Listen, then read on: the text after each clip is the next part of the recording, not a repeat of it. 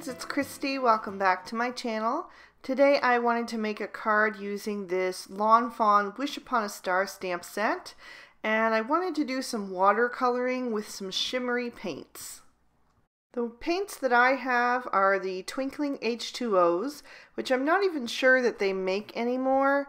Um, but there are a lot of other shimmer paints on the market right now. There's some from Finetec and Gansai Tambi and several others as well. So there's um, they're easy to find if you're looking for shimmer paints.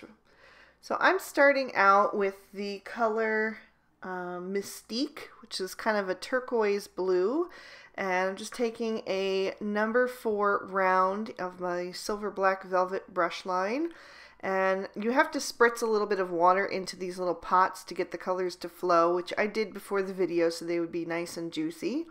And then I'm just dipping my paintbrush in there and kind of laying down the color where I want it, keeping it to the right side of the panel. The green color that I used is called Celadon, and I'm just going to add that down at the bottom and then I'm going to take a little bit more of the Mystique and try to blend those two colors a little bit more seamlessly together. The next color I'm using is called Iris Petal and it's a nice uh, dark blue, kind of like a royal blue. So I'm going to add that right above the turquoise and then blend that transition together a little bit.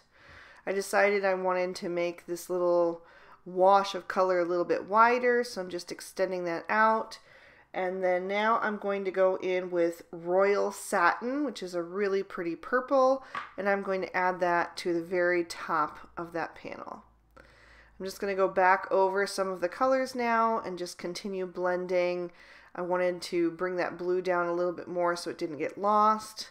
I accidentally dipped into the green, but that was okay. I just went back in with the turquoise right over top and then I'll just add a little bit more green at the bottom, kind of extending and bringing that color down just a little bit farther so that it um, is equidistant to the bottom as the purple is from the top. So I'm just going to add a bit more of that blue and a bit more of the purple to try to blend those a little bit better, and then I can set this aside to dry. I've stamped out the two foxes on some Tim Holtz watercolor cardstock, which is the same cardstock as I use for the panel. And I just used the smooth side, which is on the back there. I stamped these in VersaFine Onyx Black and then clear heat embossed them to give it that nice raised edge. And now I'm going in with the color Harvest Soul and I am just going to lay in all my shadows on this larger fox. I'm just going to work on them one at a time so that I have time to blend the colors without it drying too much. Then I'll go in with the shade Mango Freeze and lay that down in the center where all that white space is. And this is a really pretty golden orange. So I'm just going to put that down and then once I have that where I want it, I'm going to go back into that Harvest Soul and kind of drag the color over until the colors blend a little bit better.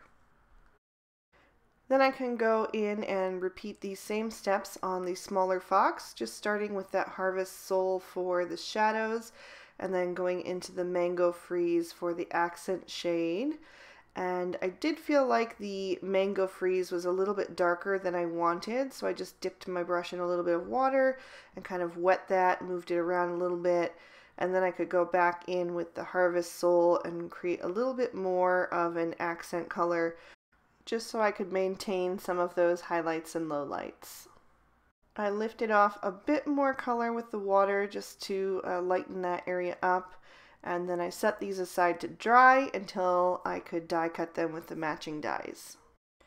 Going back to my panel now, I'm going to take some Copic Opaque White and I'm just going to add a little bit here onto an acrylic block and then spritz that with a little bit of water from my distress sprayer and then I can take a paintbrush and kind of flick that on but first I wanted to cover up the bottom portion since that's the grass so I just used a paper towel there and then I'm just going to flick that off and dab any away that was like too big of a blob there from what I wanted. And then I decided that wasn't quite enough. I wanted a little bit uh, more of a finer spray there because I'm trying to make a starry sky. So I just added a little bit of water um, off to the side so it wouldn't be quite as as liquid and then flick that off again until I had a nice fine mist of stars. I let that dry for a minute or two and now I have added a bunch of the constellations from this stamp set onto an acrylic block and I'm just going to prep that with my EK Success powder tool and then I'm going to ink those up with some Versamark ink. It's just a sticky clear ink that works great for embossing and then I can pull that right up and coat that with some clear embossing powder. I'm sorry, I used white embossing powder this time and um, just add that over top of the constellations and then tap that off on the back to remove any excess powder. Then I'll just grab my heat tool and heat that up until the embossing powder melts. Next I'm going to work on my sentiment and I'm going to do that in uh, two different parts. So the first thing I'm going to do is take this large word star and stamp that down at the bottom of the panel on the green portion that's going to be my grass. And then I'm going to take the rest of the sentiment and I'm going to stamp that down on a piece of black scrap cardstock. And then I will sprinkle both of those with some more white embossing powder and just heat set them. And then I can trim down that sentiment into a little strip. I've die cut my panel down just a bit using the largest of the small stitched rectangle stackables dies from Lawn Fawn. And now I'm going to add a little bit of glue onto the back of my black sentiment strip there. And I'm just going to adhere that down, kind of tucking it in over the S and the T in the word star. And I'll just set an acrylic block over top of that to kind of hold it down in place since that paper is a tiny bit warped from doing the watercoloring on it. Then I'm going to add my larger fox right over top of that sentiment strip. Just trying to get that placed where I want it. And then I'll add the little fox right next to him.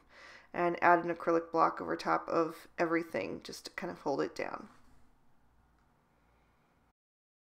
For my card base, I'm using a piece of Lawn Fawn Black Licorice cardstock scored and folded to a standard top folding card. So it is four and a quarter wide by five and a half tall. And it wasn't lining up quite right, so I'm just going to line it up with the top and the two sides.